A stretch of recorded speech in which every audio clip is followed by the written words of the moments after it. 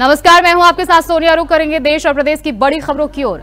बहराइच हिंसा पर बीजेपी के राष्ट्रीय प्रवक्ता सुधांशु त्रिवेदी का बड़ा बयान सामने आया है। उनका कहना है कि योगी जी ने कहा है कि दोषियों को बख्शा नहीं जाएगा। ये कौन सी शक्तियाँ हैं जो भारत को कमज़ोर करना चाहती हैं? ये उन्हीं शक्तियों के टूल हैं। कहीं पथराव, कहीं रेल पटरियों पर कुछ हो रहा है। इनको अलग अलग मत देखिए। भारत के खिलाफ होने वाले षड्यंत्र के रूप में देखिए। पिछले चार महीने से ही ये घटनाएँ क्यों हो रही हैं?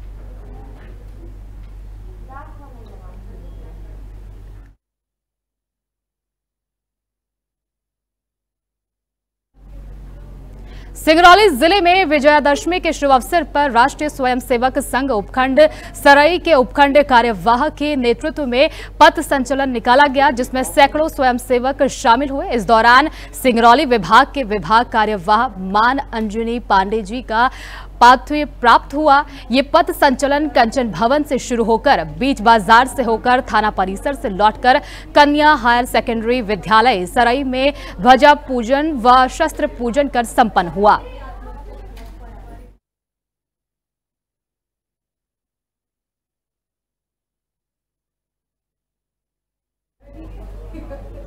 महाराष्ट्र चुनाव को लेकर दिल्ली में कांग्रेस का मंथन शुरू हो गया है। कांग्रेस अध्यक्ष मल्लिकार्जुन खड़गे के आवास पर बैठक की गई।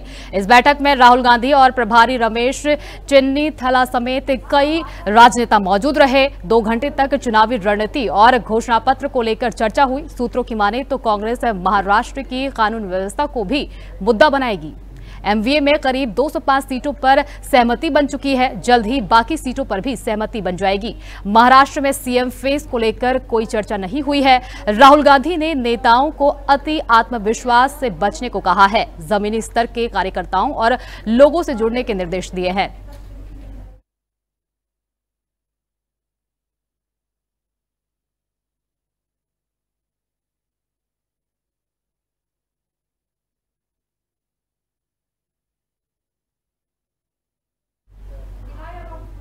राजधानी दिल्ली में अपराधी बेलगाम हैं। चाकूबाजी की घटनाओं ने कानून व्यवस्था पर सवाल खड़े कर दिए हैं। मामूली बात पर चाकूबाजी रुकने का नाम नहीं ले रही।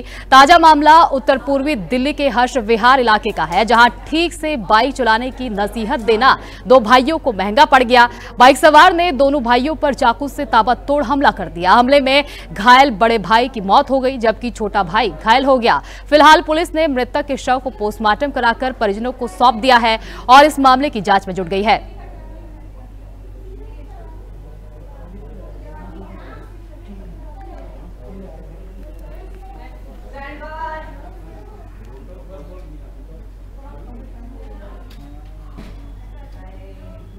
मारवाड़ जंक्शन मुख्यालय में यातायात व्यवस्था सुव्यवस्थित करने के लिए जिला पुलिस अधीक्षक के निर्देश से मारवाड़ थाना पुलिस द्वारा अभियान की शुरुआत की गई। थानाधिकारी सरोज बैरवा ने आज मारवाड़ जंक्शन के सिंधी बाज़ार, मारवाड़ी बाज़ार आउआ रोड, अस्पताल रोड पर यातायात नियम तोड़ने वाले 20 से अधिक वाहनों के चलान काटे। थानाधिकारी ने बताया कि दीपावली पर्व को देखते हुए मुख्य बाज़ार में यातायात व्यवस्था सुव्यवस्थित करने के उद्देश्य से इन अभियान की शुरुआत की गई है।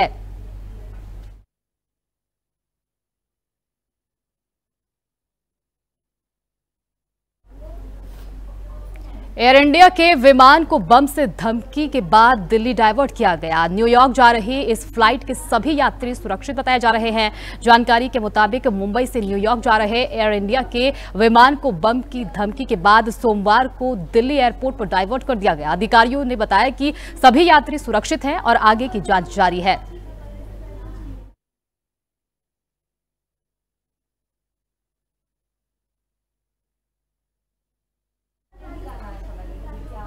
पाली ज़िले के मारवाड़ जंक्शन नगर पालिका पर राज्य सरकार के आदेश एवं निर्देश से नवनियुक्त अधिशासी अधिकारी विक्रम सिंह राठौर ने आज कार्यभार ग्रहण किया। नगर पालिका के समस्त कार्मिकों, पार्षदों, स्थानीय नगर वासियों ठेकेदार संघ, पत्रकार संघ द्वारा उनका माला एवं साफा द्वारा स्वागत किया गया।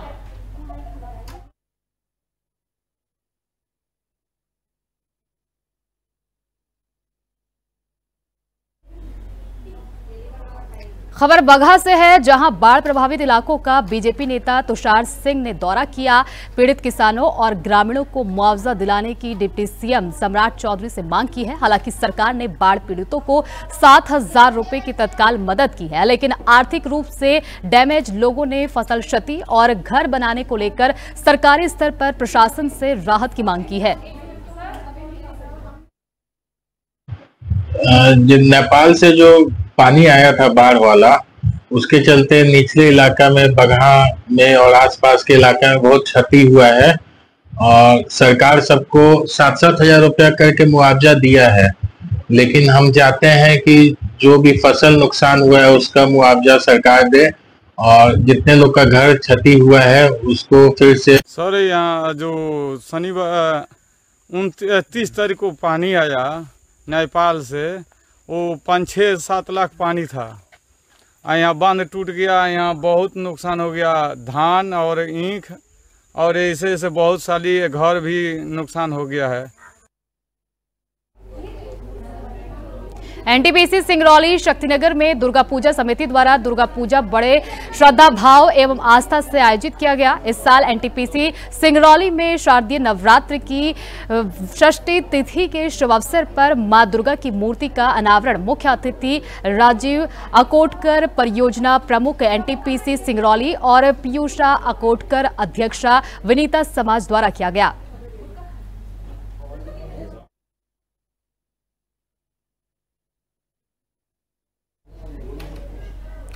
सिंगरौली ज़िले के सरई थाना अंतर्गत गुप्ता व जायसवाल परिवार के बीच पुराने विवाद को लेकर युवक पर जानलेवा हमला हुआ, जिससे युवक विकास कुमार गुप्ता घायल हो गया।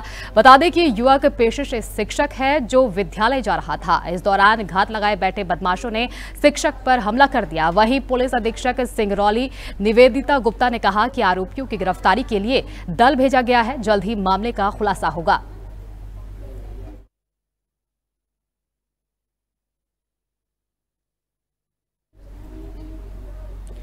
सिगरौली जिला प्रशासन की कड़ी सुरक्षा व्यवस्था के बीच राजमाता चुनकुमारी स्टेडियम में भारी जनसैलाब के बीच भगवान राम की पूजा अर्चना और दीप प्रज्वलित कर 45 फीट के रावण का पुतला दहन किया गया। इस दौरान आयोजनकर्ताओं ने उपस्थित जनप्रतिनिधियों का आभार व्यक्त करते हुए आम जनता का आभार प्रदर्शन किया।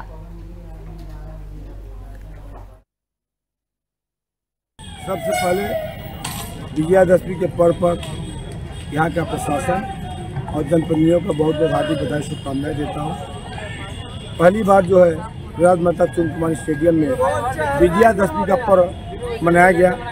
राम और रावण, ये दोनों नाम जो है, यदि राम है तो रावण भी हैं, ये भी मान के चलिए। केवल इतना ही संदेश हम कहना चाहते हैं कि राम सत्य पे असत्य का जीत करके दिखाया। देश और प्रदेश की बड़ी खबरों में फ़िलहाल इतना ही। आगे की तमाम खबरों के लिए बने रहिए हमारे साथ। नमस्कार।